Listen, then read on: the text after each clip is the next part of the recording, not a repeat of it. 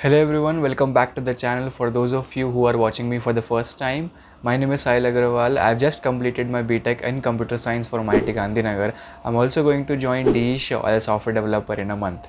On this channel, I make videos related to DSA preparation and interview preparation. You can consider this channel as a one-stop solution for all your queries regarding how to crack an internship or placement offer from any top product-based companies. I share my learnings here, I share my experiences here. I also plan to make videos on the untold life of an IITian which is hidden from the outside world. As you would have seen in the thumbnail and the title, in this video, I am going to tell you how I learned web development starting from the very basics of HTML, CSS, JavaScript, then moving on to the backend part, moving on to the backend frameworks like Node.js, Express.js, EJS, then moving on to learning about databases. I learned about MongoDB and then learning about authentication and security, how to handle credentials and how to design a secure login system. And then finally make a website out of it. Let me tell you that there is a surprise package for you guys in this video. So stay tuned till the end. If you find this video helpful, do subscribe to the channel like this video share it with all your friends who are learning web development or want to start learning web development. And you can comment down any queries any suggestions which you may have for me. I will definitely try to reply to you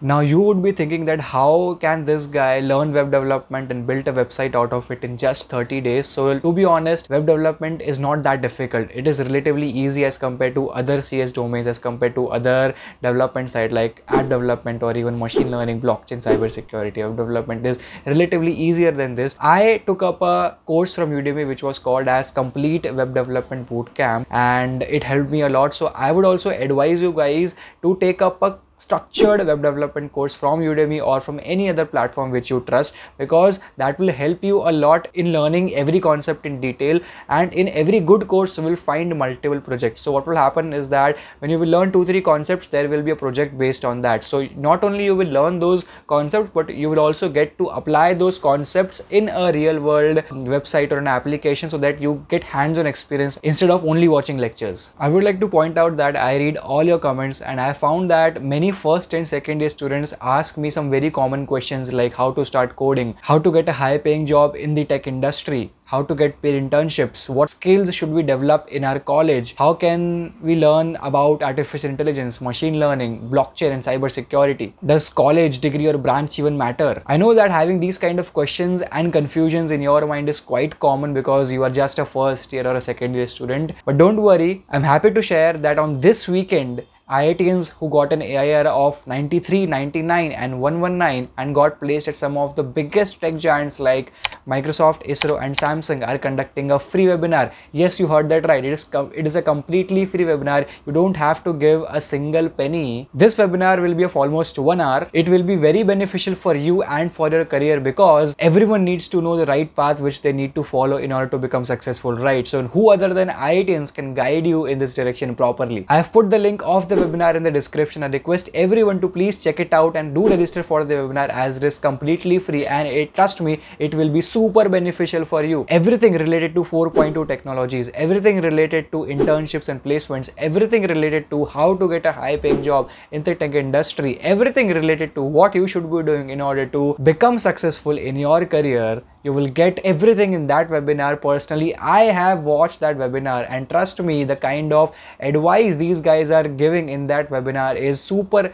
beneficial. And for the first year and second year students it is like a diamond. So do register for the webinar. The link is in the description. Now it's time to show the website which i made after learning web development in just 30 days. So i'm a gym lover and most of the people who come to the gym either want to lose weight or gain weight. So the most active machine in a gym is actually a weighing machine. When i joined gym my main aim was to gain weight. So i thought of making a website which could track the weight of any user. Here is the website which i made. The name of the website which i gave was weight and watch. So the dashboard looks like this. Uh, you will have to button register and log in if you are coming onto the website for the first time you will have to register on this website. So clicking on register uh, actually you will have to register using your google account. So once you've registered you can now log in into your account. So when you will click to login you will log in using google account credentials uh, which will be taken from other database. So whatever google account you use to register you can actually log in using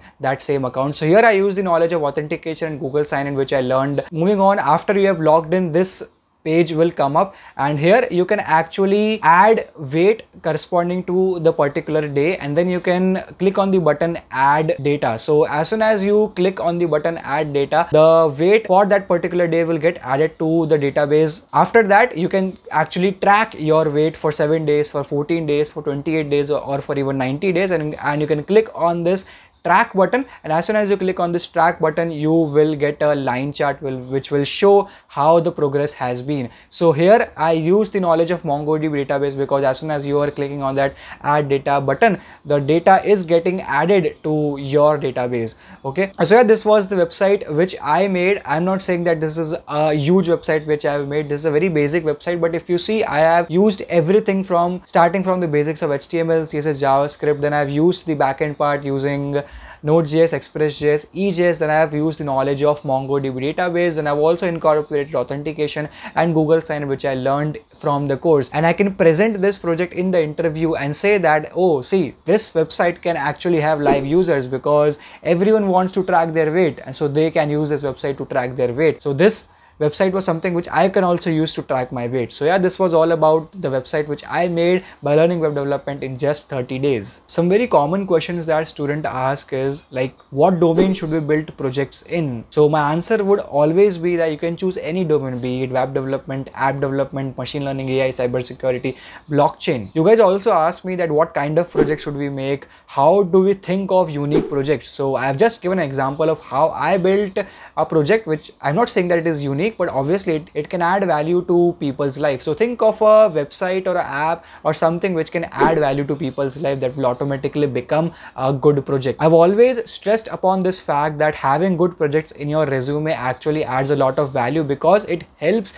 your resume stand out from others and it increases your chances of getting shortlisted when you're applying for internships or placements at product based companies or even service based companies. The only way you can stand out your resume is by having great competitive programming achievements or by having great ratings at CodeChef, Codeforces and LeetCode or you can actually have some very good projects which are adding value to people's life. In that way you can stand out your resume from others. I found out that students who actually attended the webinar webinar and listen to it carefully were actually able to build some amazing projects. So these are some of the projects which students who attended the webinar made. Uh, so you can just see like these are some beautiful projects which they have made. Again, I would request you guys to check out the link in the description and do register for the webinar as it is completely free and it is just a 45 minute to one hour webinar and the output which you will derive from that webinar will be huge. So yeah this was all about the video. I shared my learnings and experiences on how i learned web development and